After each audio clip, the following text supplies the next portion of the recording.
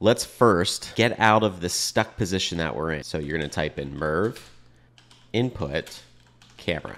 Now we can fly around. Before we even start making a cam path, let's enable the draw option. So let's do mirv, cam path, draw, enabled, one. So every time we make a cam path anchor point, we're gonna be able to see it. First, we wanna zoom in the camera before we set the anchor point. What we wanna do is we wanna type in mirv, input, five. Okay, now we're gonna choose a value. Anything above 90 is gonna give you a fisheye sort of view, sort of something like this or this. See how he starts to pull back and give you like this weird distorted look? If you want to go back to default, it's 90. Now, anything below 90, it's going to be zoomed in. So if we go to like 50 or 20, you're going to get this zoomed in look. Let's go back to 90. We'll start it at default. Okay, so we're going to type in mirv, cam path, add. And then now our next one, right? We want to zoom into, I don't know, 65. So it's like a, third of the way zoomed, we'll say.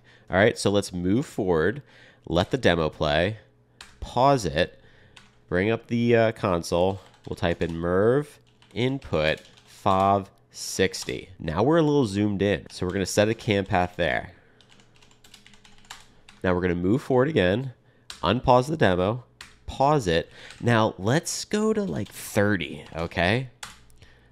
And then set a cam path.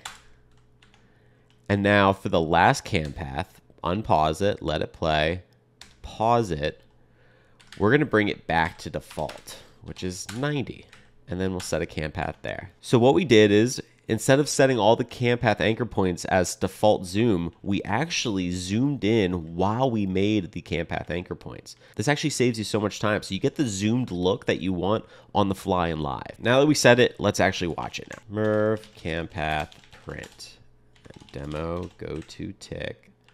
1927 and then mirv, cam path, enable one. Okay, escape. All right, let's play and watch.